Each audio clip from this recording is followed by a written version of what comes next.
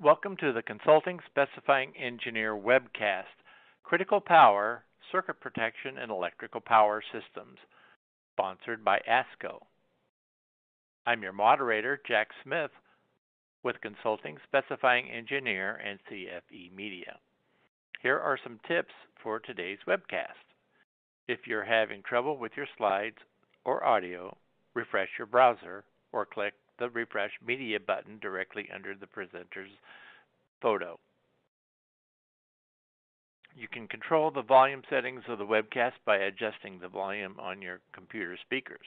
If you have problems, uh, click the question mark at the top right corner of your screen to bring up a list of system checks to try before contacting an online technician.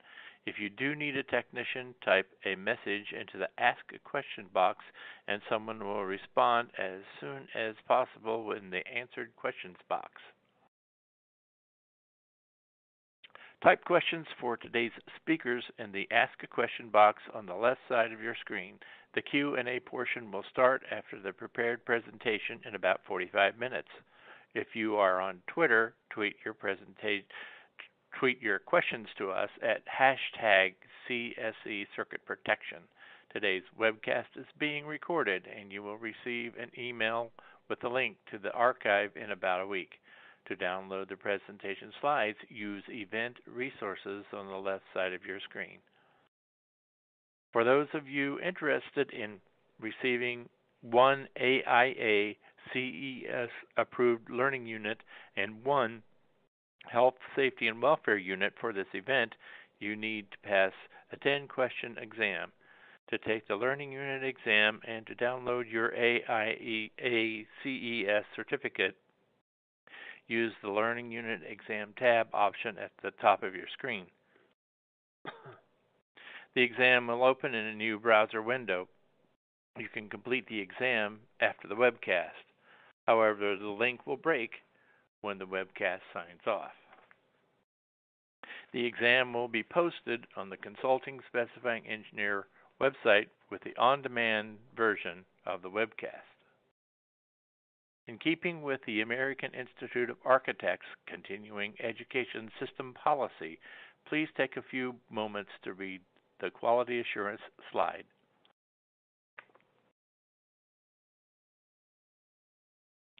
Here is a list of the learning objectives for today's webcast. We'll cover these in today's presentation.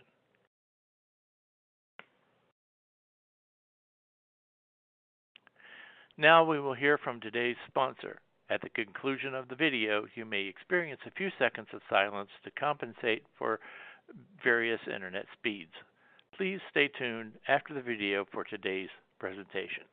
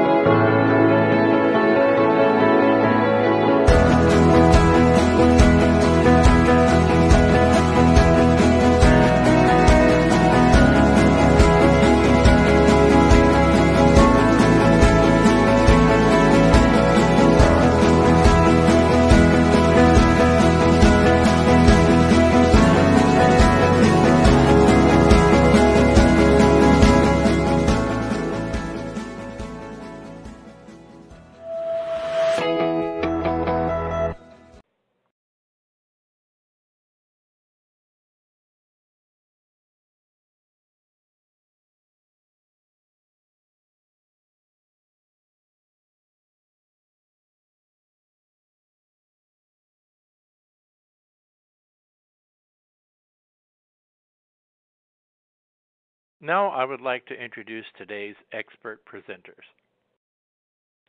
Dana Jensen is one of the founding principals of Certus. She has extensive experience in the design of reliable and efficient electrical systems for complex healthcare projects. She brings large scale technical expertise and innovative concepts to her role at Certus, where she focuses on advances in uh, engineering and technology. Dana was a 2009 Consulting Specifying Engineer 40 Under 40 winner and is a member of the Consulting Specifying Engineer Editorial Advisory Board.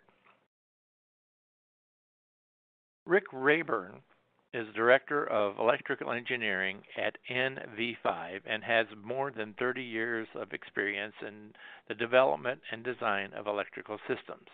He has done international projects and large multi billion dollar hotel casinos in Las Vegas as well as across the nation. Rick is licensed professional engineer in more than 30 states. It's a pleasure to work with both of you today. And Dana, let's kick off this presentation. All right. Well, thank you very much, Jack, for that lovely introduction. So, Jack said, my name is Dana Jensen, and my primary focus is designing electrical distribution systems predominantly for healthcare facilities.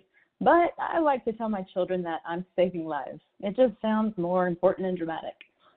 Of course, I can in no way take credit for the miracles that healthcare workers perform every day. However, we as electrical engineers play a vital role in making sure that the systems we design are safe for all the building occupants and maintenance staff. With this in mind, we have a lot to cover today since designing electrical circuit protection systems can be a complicated and tedious task. So in order to begin, let's quickly review what is meant by circuit protection. The basic philosophy is to localize and isolate an abnormal condition, such as a fault, and to prevent unnecessary power loss. These together ultimately protect both personnel and equipment. The basic design concepts can range anywhere from physical protection of the conductors themselves to the smart devices that are designed to protect the components by detecting faults and interrupting circuits. There are several types of abnormal electrical conditions that may occur throughout a building's life that an electrical system must be designed to overcome. These are overcurrents or overloads, short circuit faults, transients and surges, and other power flow issues such as single phasing of three phase systems and reverse power flow. Understanding what causes these types of faults goes hand in hand with understanding the codes and standards surrounding them. That being said, code comprehension is no easy task since there are so many relevant codes and standards. Some of the major players are those you see here. NFPA 70, which is also referred to as the National Electrical Code or the NEC, is probably the most widely known electrical design code, and it's the benchmark for safe electrical design, installation, and inspection to protect people and property from electrical hazards. The National Electrical Safety Code, or the NECS, is published by the IEEE, and they provide practical guidance to safeguard from electrical hazards during installation, operation, and maintenance. NFPA 70E is the standard for electrical safety in the workplace, and it includes requirements for safe work practices to protect personnel by reducing exposure to electrical hazards. The National Electrical Installation Standards, or NEIS, is published by the National Electrical Contractors Association, and this one dictates standards for performance and workmanship. And lastly, we have OSHA, which stands for the Occupational Safety and Health Administration.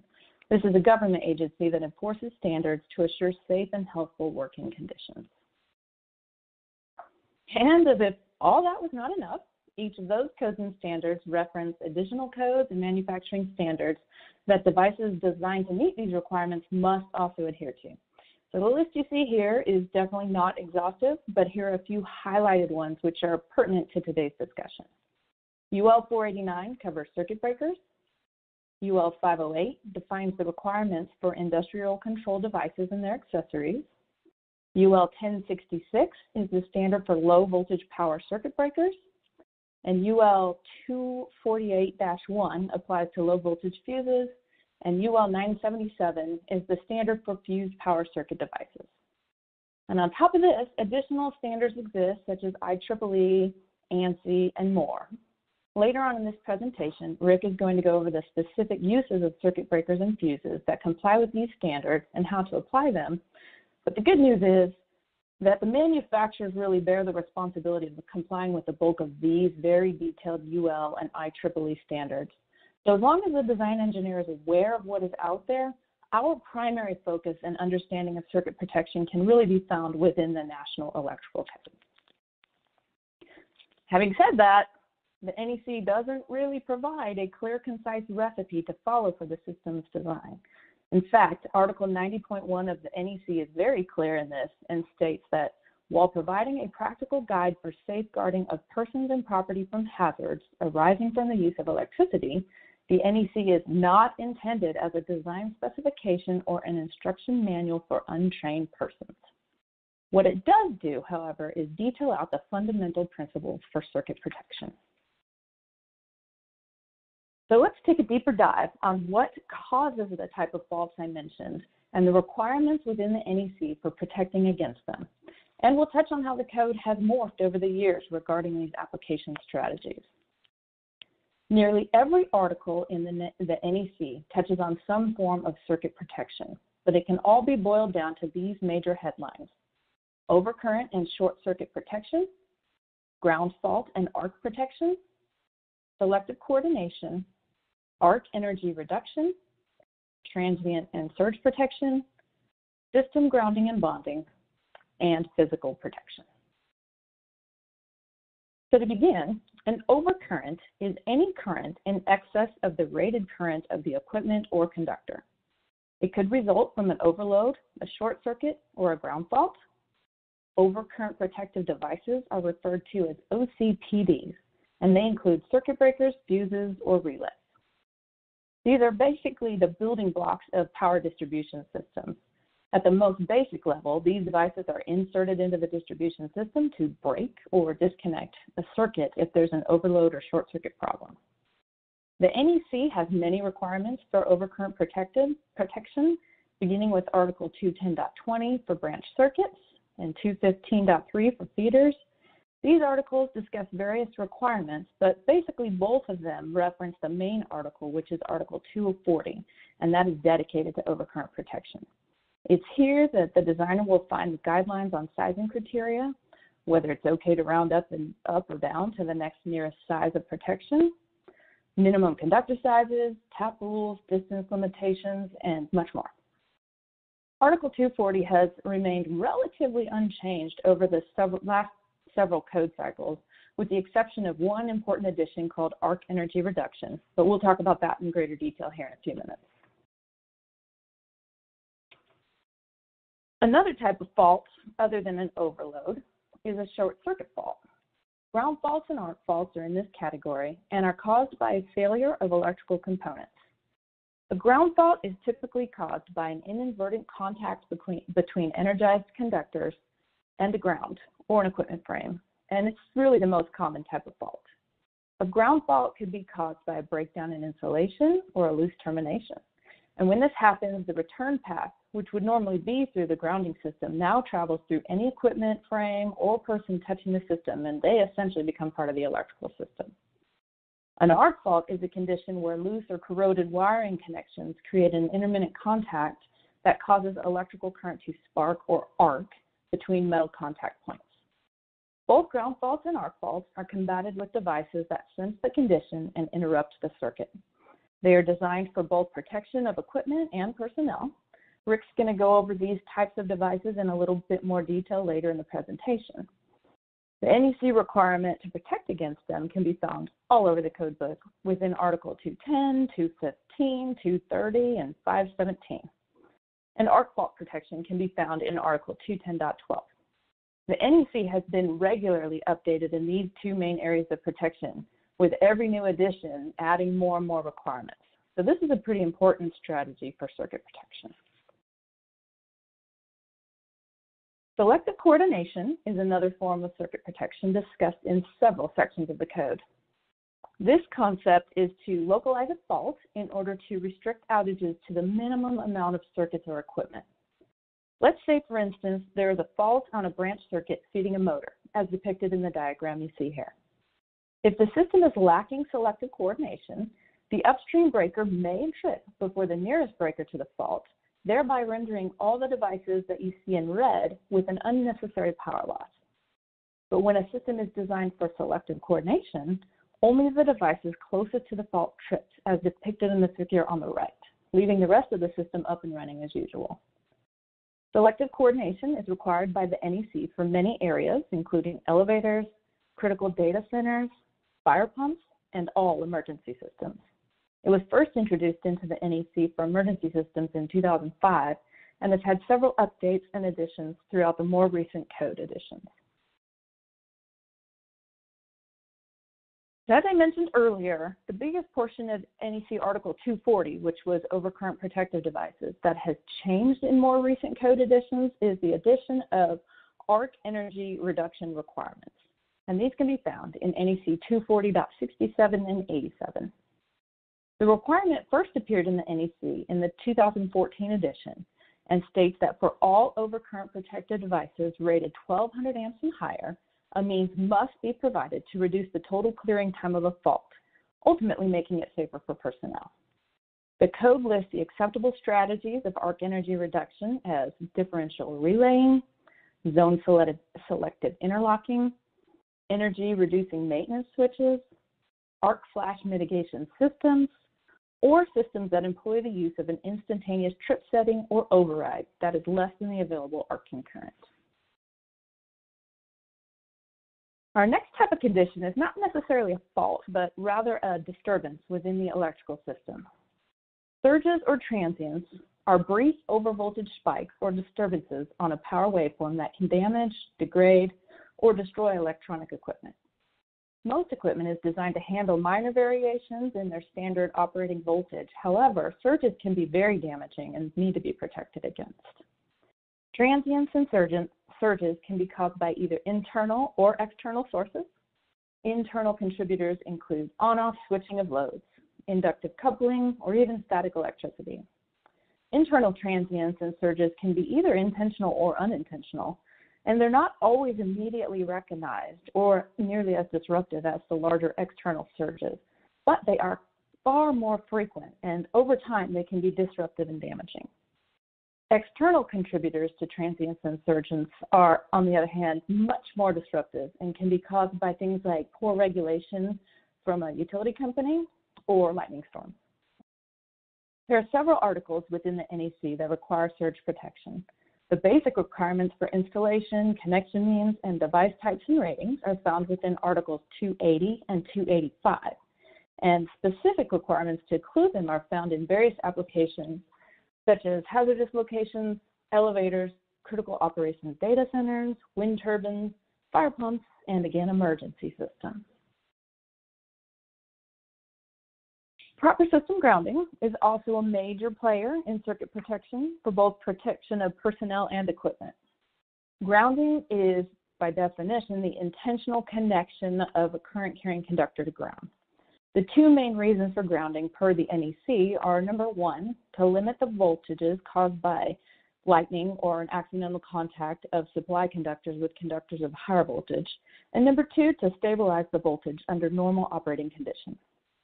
Grounding equipment provides a ground reference for exposed non-current carrying parts of the electrical system and provides a path for ground fault current to get back to the source. Grounding consists of many components and strategies, including the grounding electrode, service grounding, separately derived systems, and equipment grounding. Grounding is a commonly misunderstood topic, and the NEC devotes an entire article, which is Article 250, to grounding requirements. And finally, when considering circuit protection, we must not only consider the devices and components that comprise an electrical system, but also the path that the circuits are routed and where the equipment is housed. There are several articles within the NEC that discuss physical protection requirements, including Article 230.6 for service conductors, 240.30 for overcurrent protective device locations, Article 695 contains requirements on how fire pump feeders must be routed and protected from damage and fire. And Article 700.10 also has requirements for routing and protection of emergency feeders. These articles touch on equipment location, the requirements to be accessed by only authorized personnel, and also how they must be protected from fire. So with that, I'm going to hand it over to Rick so he can describe some of the practical applications of how to protect against these faults and conditions. Rick? Thank you, Dana. So let's start back to the basics just to touch on. Uh, overcurrent protection uh, is defined as stated here as any current in excess of the rated current of the equipment or ampacity of a conductor. It can result from an overload, short circuit, or ground fault. That's pretty broad. A lot of people think of overcurrent as being the thing that protects everything. Uh, it's broken down into many different pieces as we've seen from Dana's protect, uh, projections earlier and discussions. Overcurrent protection uh, for device, a device is a, for a branch circuit. A device capable of providing protection for branch circuits and equipment over the full range of overcurrents between its rated current and its interrupting rating. So what's that really saying? That's saying that in a panel board, a typical small panel board that you might be utilizing as a last protection on a branch circuit, uh, could be rated at 100 amp for the panel board. The, the uh, over the, I'm sorry, the uh, interrupting rating of that panel board may be listed at 10,000 AIC which means that the breaker internally typically is rated also at 10,000 amps. So that, that tells you that the, the overcurrent rating for the, the standard protection is from 20 amps to 10,000 amps, a wide range. And you can look up uh, curves for typical breakers and see their uh, curve settings for different times of faults and the values of current that have to flow through that device, and it still provides protection throughout its range. Conversely, a fuse can be used for the same application.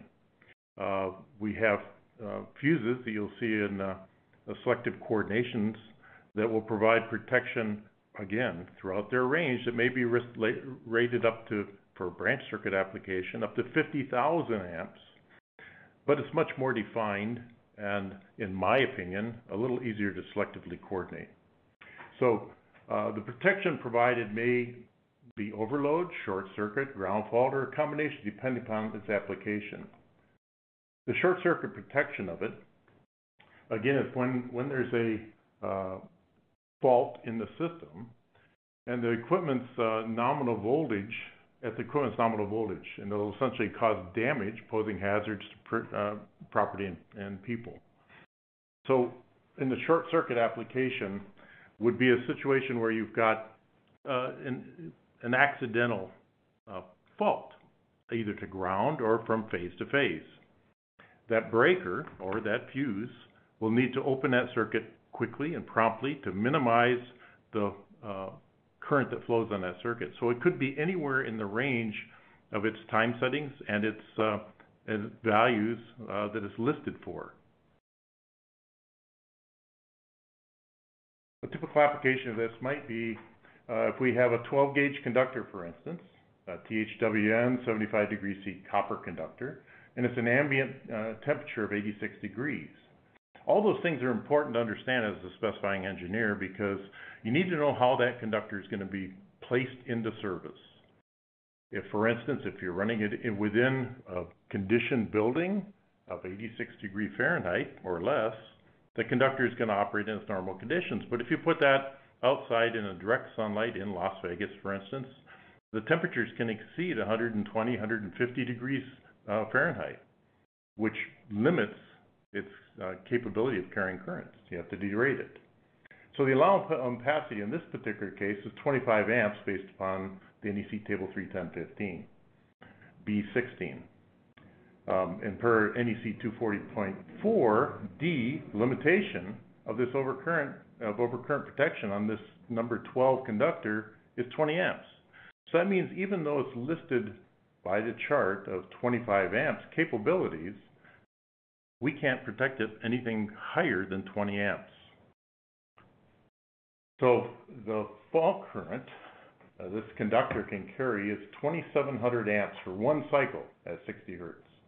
The clearing time of a fuse is typically less than a half cycle. So a fuse will protect this, this conductor within a half cycle. The clearing time of a power or airframe circuit type breaker is typically three cycles due to the thermomagnetics within the breaker. So it will have to carry that current for up to three cycles. The conductor itself is limited to 2700 amps, so that 20 amp breaker for this type of application would have to limit the current to 2700 amps for the uh, one cycle to be able to uh, work the conductor properly in this operating environment. Now, we design most systems for worst case. The actual applications in the field, we may be designing it for uh, 16 amps of continuous load, but the actual application in the field is going to vary from very small amperage up to 16 amps. So a feeder in the same application for Article NEC 700, again, NEC 700 is uh, emergency systems.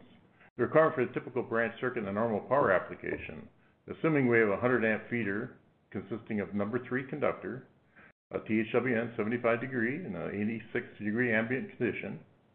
Uh, this feeder is serving a panel board and has the aforementioned 20 amp overcurrent device in it. In normal operating conditions, the use of a 100 amp overcurrent protection device will function just fine, uh, circuit breaker or a fuse. But in the NEC 700 system, it's required to be selectively coordinated so that the branch circuit overcurrent protection device, that 20 amp device, is coordinated with that upstream device. Uh, let's see, the event of a fault or current, uh, this uh, should have been 20 amp overcurrent protection device shall be selectively coordinated, or 100 amp should be selectively coordinated with the 20 amp, such that the 20 amp will open first. So again, that, that falls back to these curves that I was talking to before. Overlaying of the curves of the particular components you're listing in the system have to be selectively coordinated so that at no point along that curve does it touch the, the curve for the protection device above, uh, being selectively coordinated. In a standard operating system, should you design a system that has a 100 amp overcurrent uh, device above it with a 20 amp device below it and the curves overlaid and in the instantaneous range, that range that is less than 0.1 seconds, um, the amperage uh, has to interrupt to protect for the interrupt rating of that equipment. It's okay in the typical operating system that we have those overlaying, but in Article 700, we're not allowed to do that. They have to fall all the way down to 0.0 seconds.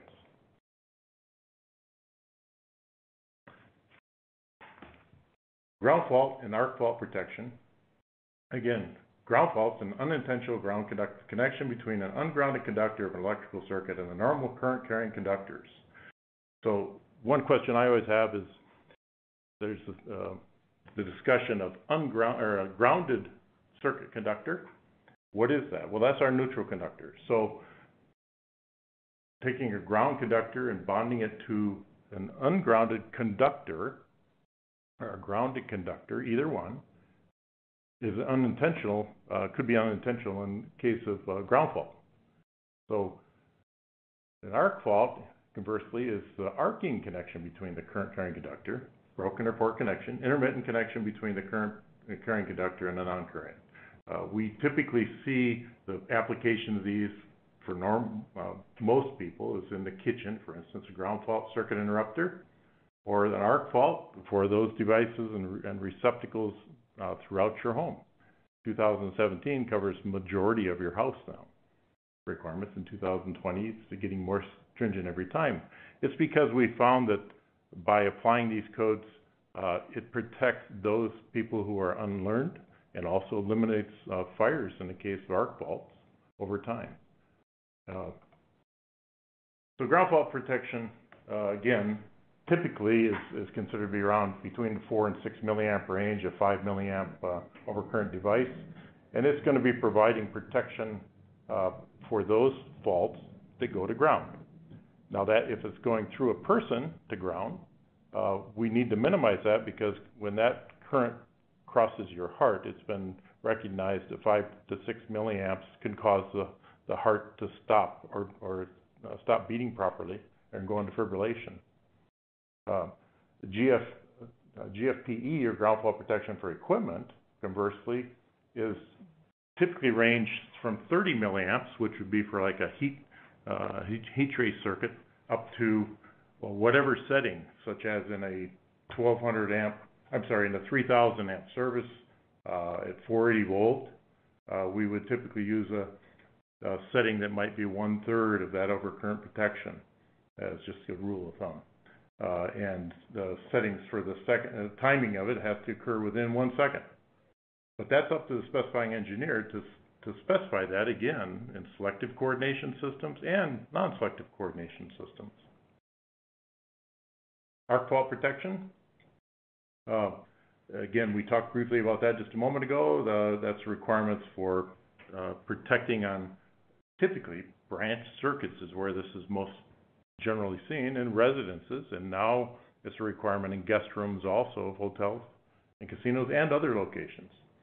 Um, you can, uh, it seems to be expanding and expanding. That's because we recognize less and less fires when we see this. This usually is a component of a frayed uh, lighting uh, fixture cable that might be installed uh, somewhere where it's being rubbed up against all the time. And uh, the conductor uh, fails over time with slow arcing occurring. The, this device recognizes the signature of that sine wave and sees that and when it exceeds its limitations, it'll trip the device. And there are devices uh, in circuit breakers that are now both AFCI and GFCI uh, devices. So let's follow the selective coordination briefly. Selective coordination, we've talked at length on that, but just as a, a ratio for your selective coordination devices, I've always used the, the, the statements that if I go a two to one ratio for a two and a half to one ratio for a, a fuse downstream to a fuse upstream, chances are very, very likely that I'm going to be selectively coordinated. In the case of molded-case circuit breakers, uh, it's very difficult to selectively coordinate those if they're not uh, a large range between the low, lower uh, uh, molded-case circuit breaker and the upstream molded-case circuit breaker. It can be done, but there has to be quite a gap between those two. Uh, power circuit breakers uh, are fully adjustable typically for LSIG, and you've probably heard that. Long, short, interrupting, and ground fault protection. And the adjustability adjusts the points on that curve so that the upstream device doesn't touch the ground downstream device. Uh, we have 700, we talked about that. We also have 701 that has the same requirements as 700 for selective coordination. And typically in buildings that we do, um, these are important, important facts for our life safety system to make sure that those two to five, six, you know, however many people are in that building, thousand people, um, can evacuate that building with knowledge, our knowledge that it's going to be safe for those systems to operate in the case of a fire or a, a, power outage condition. Arc energy reduction. So arc energy reduction is pretty wide now and pretty uh, uh, deep, I'll say. So there's several different methods that you can provide arc flow. So first off, the question is, is why do we provide arc energy reduction? So that falls back to how much fault current do we have available at a component? And what's that component listed for as far as how much arc fault it can handle before it becomes dangerous or explodes? Um, typically when arc faults occur, plasma is generated when it's metal to metal. And the plasma is in the, in the form of, in the air adjacent, it superheats the air. And many times, people over the life, lifetime of electrical installations have inhaled that plasma. Uh, that basically, in addition to the, the burns that they receive, uh, the trauma they have when that blast hits their body, uh, un unfortunately causes loss of life. We can't, that's unacceptable for us. We can't allow that. We want to do everything we can to minimize that. So the invention of PPE came into place with OSHA um, and others to protect the, the person that's working on a piece of equipment that is live. So the first method of protection is to turn the equipment off. Go upstream, turn it off. Well, for my purposes, I have casino operators that tell me we will never turn the casino off. So we need to make sure that that casino is functioning all the time. So therefore, it's very important that we understand how much fault current is available at the panel board or at the, a switchboard, or even at the device, such as a, a large motor. Manufacturers will list that equipment, and they've tested it to meet the, the available fault current um, that's listed on their product. So we have to go through, calculate how much from the utility company to that location of fault current we may see at that device, and provide protection uh, with the components to minimize it. So there's several different methods. We've uh, mentioned zone selective interlocking. So zone selective interlocking is a methodology utilizing uh, uh, essentially breakers uh, within the system or fuse switches within the system that talk to each other. And so it may, if a fault is recognized at a low stream device, it'll send a signal to the upstream breaker to say, hey, lower your settings into a safe condition, or disable your time function, so you're not waiting a certain period of time. I've got a high high incident fault energy here, and so by uh, tripping that breaker upstream, I've limited the available fault at that at that component. Differential relaying is a, a similar function in the fact that it's going to limit the fault of the device. Uh, we see uh, in our applications, we see a lot of energy reducing maintenance uh, switching and local status indicator. That basically is a, a switch in the uh, system that's that the maintenance personnel prior to opening that equipment put into a selective position that that shortens the time frame and uh, lowers the trip settings uh, for an instantaneous situation should they accident, have an accident when they're working on that gear. So it's going to trip that device much faster than it would under normal conditions.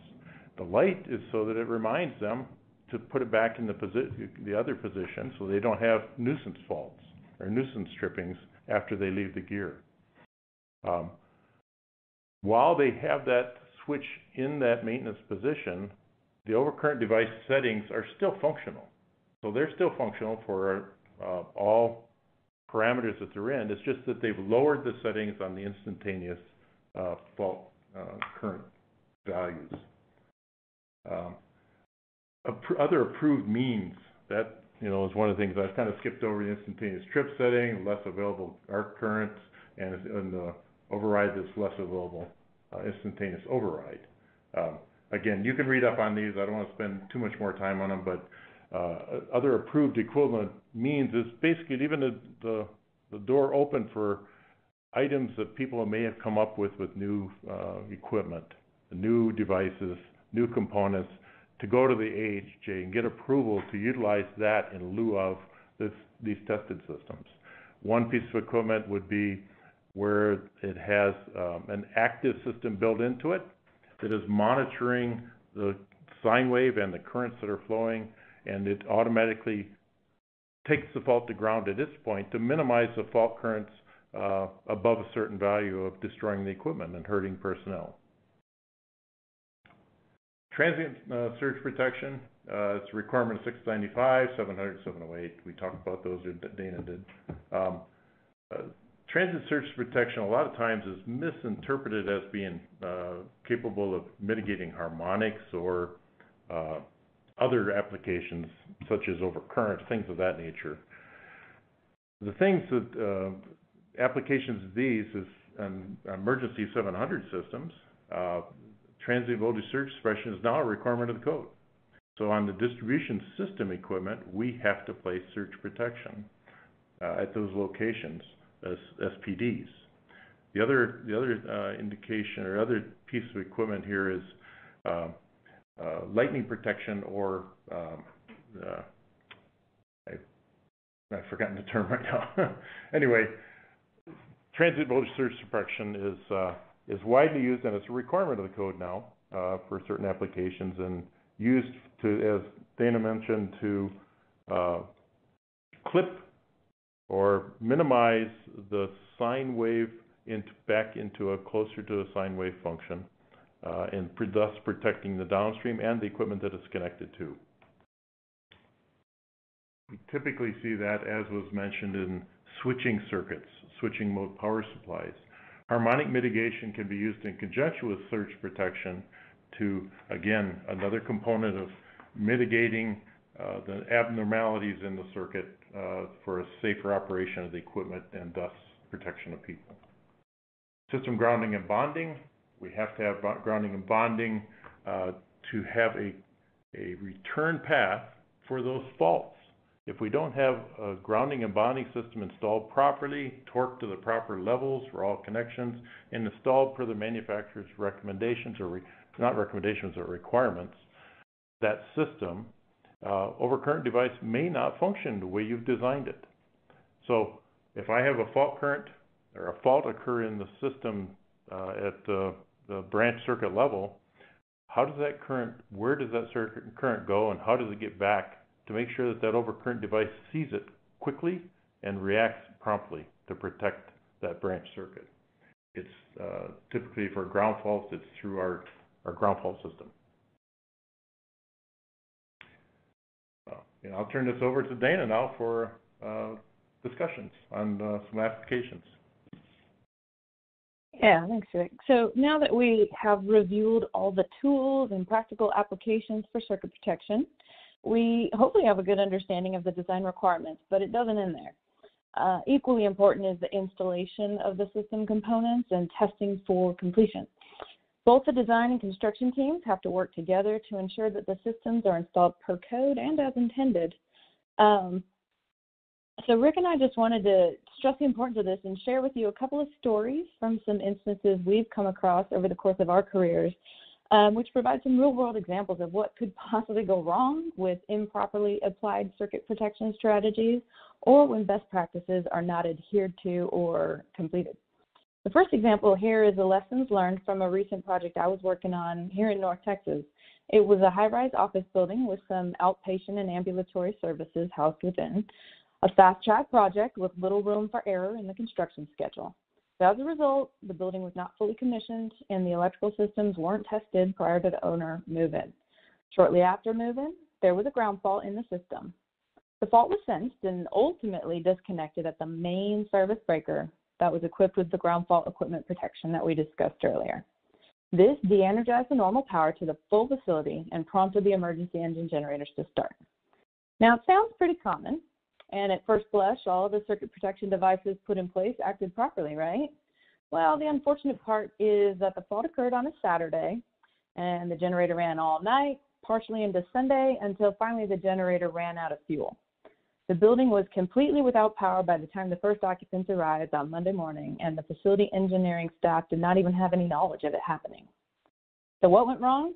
Well, it was, it was pretty easily discovered through the building management software system, system that a motor had shorted and caused the ground fault.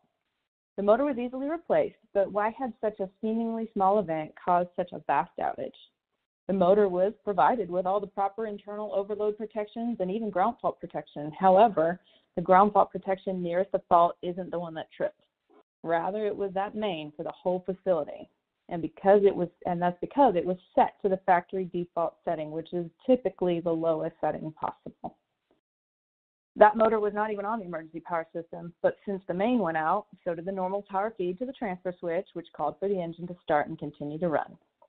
So the engineer had gone to the trouble of designing a selectively coordinated system, provided the proper circuit breaker settings to the team, but the final necessary step didn't happen, which is adjusting those final settings. One other thing that went wrong was knowing that this facility was not going to be manned 24 7, the engineer had called for remote monitoring of the emergency power system. It was also discovered at that time that the communication wire had not been connected nor tested, so it failed to notify the building engineering team over the weekend that the engine was running, which could have prompted some earlier attention. Had they known, they could have started the investigation sooner and saved the scramble on Monday. So luckily, this story doesn't result in any equipment or personnel damage, other than the checkbook for the thousand gallons of fuel lost, but it could have been substantially reduced. So the lessons learned is the importance of completion and commissioning. The design could be completely perfect, but without the proper implementation and follow through, the problems are bound to happen. Back to you, Rick. Thank you. Um, what I wanted to discuss was a, a project here in Las Vegas that, uh, that we had a casino, uh, that had been designed and operation for several years, of which a cable in an underground vault uh, failed. Uh, it was a medium voltage cable, uh, and in that same vault was two or three other cable circuits, cabled circuits. Um, they were fed in a loop situation around the facility. And when that occurred, the overcurrent device for that particular cable um, failed, or opened, I'm sorry, it didn't fail. It opened and it disrupted the power to the facility for what that particular circuit was feeding. The facility's operations personnel recognized, obviously, that they were getting a lot of calls in because this is a loop, so it fed into the facility in several locations uh, and uh, disrupted different uh, portions of the building's operations. Facilities engineers, staff that was on, on uh, service that night, went to the, to the electrical room, found the breaker that had tripped, and closed it back in. Well, the mistakes made there are, number one, uh, you shouldn't have closed, you shouldn't close a, a tripped breaker because of a ground fault or because of a fault condition or because even nuisance tripping, unless you understand why it tripped. That's the first, uh, first mistake that was made. So when he closed it in, obviously, this manhole that these cables were in was remote from where he was at. Uh, that cable was energized again and failed again, and this time released a number of joules into that manhole, uh, which, because the particular cable that failed happened to be at the lower portion of a rack of cables, it, that uh, quantity of power that was released into that hole and that arcing fault caused cables upstream of it or above it to uh, uh, fail also. So that first one tripped again, and then almost moments later, a second one tripped. Uh, the facility guy that was there was starting to panic. He closed his breaker back in again and closed the other breaker back in, which proceeded to release larger quantities of power into the facility, and which caused more cables to fail. Now, this happened three times. Uh, in the long term, it lifted, the explosion was large enough that lifted the manhole cover and threw it out in the air and across the, across the way. Um, and of course, the casino facility now went going from, uh, let's say, one third of a power loss to uh, two thirds of a power loss, and then ultimately to uh, almost a full power loss. The only thing that was still functional was the emergency system, because the emergency system, life safety system, was in a different vault system, as it should be, as the code requires. However, this was in the evening when the normal staff was, was not present. Uh, they called in and, and were getting updates and driving in quickly to the property, and they made the decision right then and there to evacuate the facility because they didn't know what was going on. Uh, so human intervention of untrained personnel can lead to disasters and does all the time. Uh, we have to be thoughtful about that, and, the maintenance staff operating these uh, facilities that have large quantities of power available and massive distribution systems that are very complex with uh, with uh, availability of multiple feeds to things, they have to understand the system. We can't have personnel operating these systems that are not under, understanding it. So the things that, that don't get recognized when that happens is number one, obviously, police fire were called out, uh, they evacuated the facility, loss of income, uh, and then of course, from my standpoint, the number of hours needing to sit in uh, attorneys' offices and uh, discussions that go on to, to try to describe and understand what happened, why, and what failed, and how come uh, it didn't operate properly. Well, the truth was it did operate properly. Um, and that was what the outcome was, but that was six months to a year later. Um, so those unpleasant times, those times that you end up putting in, is what your insurance uh, assists you with, and it's important to have liability insurance and uh, that assists you with the protection of your lifelong endeavor of electrical engineering. I'm going to turn it back over to, to Donna for uh, the next one. Yeah. Okay, so um, here's another quick story we're going to go through. Um, this is a situation where there was an improper code application and it left the hospital without emergency power. Uh, it was luckily it was after midnight on a Sunday, so not a completely occupied building, but a 40-year-old hospital surgery department experienced a line to ground fault on a single phase 20 amp critical branch circuit. Fault was detected in the system, generators fired up, power was restored to the critical branch in a matter of seconds. Um, that stuff doesn't sound like a huge ordeal. Hospitals are designed to overcome these situations and are provided with reliable electrical distribution systems for exactly this scenario. So hospital staff, engineering staff heard the generators humming. They needed to have a little bit of time to assess the situation. That is until their phones started ringing. Uh, what they soon discovered was that while the generators were running, they actually weren't supplying power to the end use devices on this particular critical branch. So that's when the panic set in. Uh, what they what they finally did discover was that the original ground fault occurred at a light fixture in the corridor outside of one of the ORs. There's a very old water line uh, that had sprung a leak and was dripping onto the electrical connection, thereby causing caused the ground fault. That ground fault, as I mentioned, was detected in the normal power circuit breaker. that switched over to the emergency power circuit breaker, but unfortunately, that emergency breaker was also equipped with ground fault equipment protection, which actually is not permitted by code. So that sends to that same fault and it also tripped, thereby rendering that whole critical branch without power from either the utility or the emergency generator. So this, fortunately for this story, they were able to quickly pinpoint the issue and get the critical branch up and running with no lives lost. But it really could have been a catastrophe um, after the event, basically the hospital realized, wow, we've got a really aged facility and let's do some research because that brought to life several other code deficiencies and overall reliability concerns. So just another lessons learned on when working in old facilities, do some due diligence. The staff should invest in the money to upgrade aged electrical systems because lives are on the line. All right, Rick, back to you. Okay, I'll keep this real short and sweet. We're running out of time. Oh. Uh, This is a, a very, very similar situation to the ones we've talked about before. This is where we just had a main overcurrent, uh, protected for ground faults as required by code. Um, unfortunately, it was never commissioned. And so as, as stated earlier in one of the discussions, uh, the facility tripped on opening night. Um, we were able to recognize it via phone call, had the adjustments made at that particular point in time over the phone, uh, facility came back online. But it's, it just brings to the point of, it, we can go through all these, uh, adjustments, we can go through all these, uh, settings, all these calculations and everything else, but if we don't have someone commission them and make sure that the settings are functioning properly and working, uh, it's thrown out the window. And that's, uh, the short and sweet of it. So I'll turn this back over to Jack. Thanks. Thank you, Dana and Rick, for the first-rate presentation. And now our presenters will answer questions about circuit protection.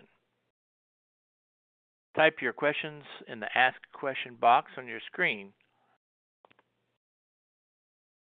Please indicate which speaker you would like to answer your question by typing their name before the question. We will get to as many questions as time allows. Additional information will be posted online at www.csemag.com with the archived version of the webcast. To take the Learning Unit exam and to download your AIA CES Learning Unit certificate, use the Learning Unit exam option at the top of your screen. The exam will open in the new browser window. You can complete the exam after the webcast. However, the link will break when the webcast signs off. The exam will be posted on the Consulting Specifying Engineer website at www.csemag.com with the on-demand version of the webcast. Now, let's answer some of these questions. Dana, how does GFCI work and why do we why do they go bad? Well, that's a great question. So the the fundamentals behind a GFCI is that it ha- it has a current transformer basically inside that monitors any imbalance of current between the phase wire and the neutral. So if everything's going right, then both the current entering and leaving a device is the same, minus some minor losses. So if the CT senses any imbalance that's greater than 5 milliamps, then the switching contacts de-energize the device. That's how it works. Um, there's several reasons why a GFI fails. First of all, if it does keep tripping, kind of like the story that Rick told, um, you may just have a problem. Um, particularly in a wet location, there's a high possibility that there actually is a ground fault that it's detecting. So you need to investigate that. Um, another reason why they fail is that um, they could be wired incorrectly. Um, fortunately for this, UL actually requires all listed GFI, GFCI devices to include a um, protection so it kind of gives a little indicator light to let you know if the device is wired wrong and it actually won't operate. And then another reason why GFIs actually may go bad is due to those uh, transients and surges that we talked about earlier in the presentation. Uh, this, since there are components inside of the device, if there's a facility that experiences a whole lot of or big volume of these surges, then those um, those components fail as well. Um, but similarly, UL also requires GFCIs to include an end of life protection where the device actually is now smart enough to know when it's gone bad and it will stop working. So that's, excuse me, that's the time it needs to be replaced. Thank you. Rick, next question goes to you. What is the difference between fully rated and series rating for fault current analysis? Okay, thanks, Jack. The good question. The, the Series rating panel board is basically a piece of equipment, is equipment that might be listed, for instance, I'll use the example of a panel board. A panel board typically uh, would be rated at 10,000 minimum for a 122 8 volt system. And upstream of that uh, would be the overcurrent protection note that's protecting that panel board. Um, in the case of a high uh, fault current, available fault current from a facility, um, there may be let's say 15,000 amps available at that panel board is what you've calculated. So if there's 15,000 amps and you have a fault on that panel board, that panel board is going to come apart. Something's going to happen that's dangerous, potentially fire or, or personnel. So a series rated system, you can provide that panel board list from the manufacturer that's listed with the upstream device uh, that will actually limit the fault to less than 10,000 amps thereby protecting that equipment and, and handling it. So for instance, let's take a 10,000 amp molded-case circuit breaker panel board, and we have a fused switch above it. Well, a fused switch will limit the fault. Uh, an example this morning, it limited the fault that was calculated around uh, 11 or 12,000 to being around 3,500. Um, again, it, it, every instance is different, and it needs to be listed by the manufacturer as being capable of being a series rated. Once you do that, you have to put labeling on that equipment to say this is a series rated panel board or a series rated piece of equipment with the upstream device. That upstream device also has to be labeled. And the, and the, inspection agency has to know that that's listed and labeled in that fashion because guess what? If there was substitution made of a piece of equipment or a breaker upstream, it may not provide that same protection and the let through may allow that breaker downstream or that equipment downstream to fail in a fault condition, thereby injuring or hurting someone. We can't have that. Uh, fully rated is basically exactly that. The equipment is fully rated to handle the fault that's calculated to be present at it. So instead of a, uh, if I had to calculate 18,000 amps, I could opt to put a 22,000 amp piece of uh, panel board in place that is fully rated to carry the maximum fault that's calculated at that point. That's about it. Thanks, Jack. Thank you, Rick. Uh, we have time for one more question, and Dana, you get it. Why does the code limit ground fault protection of a feeder or service to 1200 amps? Why not a lesser value? Well, that that is a great question. Um, so I get to to remind us what Rick talked about earlier. Um, the code requires ground fault protection of equipment for services that don't um, exceed a thousand amps and then it says the setting of that ground fault, the maximum setting is 1200 amps. Now, ground fault, as I mentioned from my stories, it, it could tend to have nuisance tripping. Um, if it is set too low, it could start to sense faults. Um, so, what you have to keep in mind is that codes are minimum.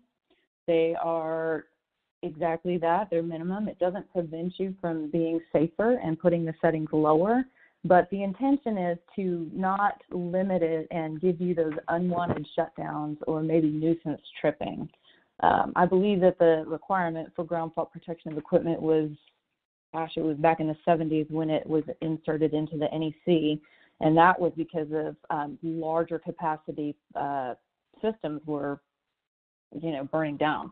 So that's why they limited that to thousand amps, and then again, the 1200 amps is just you gotta you gotta start somewhere. So hopefully that answers your question. Yep. You nailed it. Okay, I'd like to thank our great speakers, Dana Jensen and Rick Rayburn, for their time and their expertise. Thanks for your answers, and thank you to our audience for the great questions. And I'd also like to extend a special thank you to our sponsor, ASCO, for supporting today's webcast. And now that we're just about done, we want your feedback. A short survey will pop up on your screen as soon as the webcast ends. Please take a moment to complete it. We use this information to improve our webcasts. Finally, on behalf of Consulting Specifying Engineer and CFE Media, thanks for attending this webcast. This now concludes our webcast. Thank you and goodbye.